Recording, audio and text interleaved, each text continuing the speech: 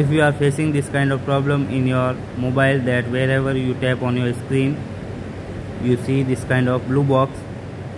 So how to fix this problem?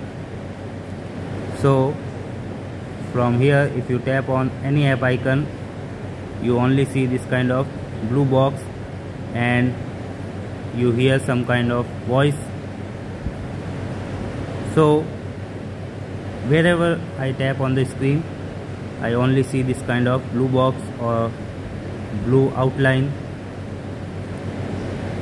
So on whatever app icon I tap the app will not open and I only see this kind of blue box. And from here if I try to swipe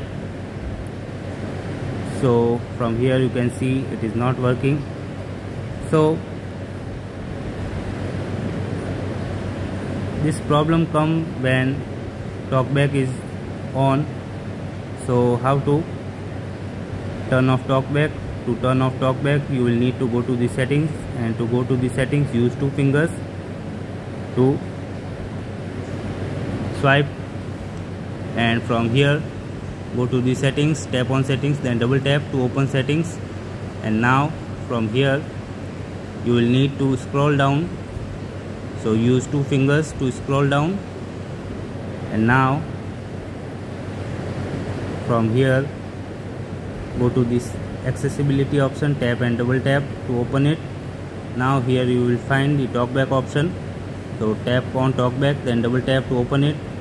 Here you can see talkback is on. And from here you can learn more about it. So if you want to turn off talkback tap here and then you will need to double tap on it. And here you will see the turn off talkback option. Tap on turn off then double tap to turn talkback off. So talkback is off. And now you can use your phone normally really easily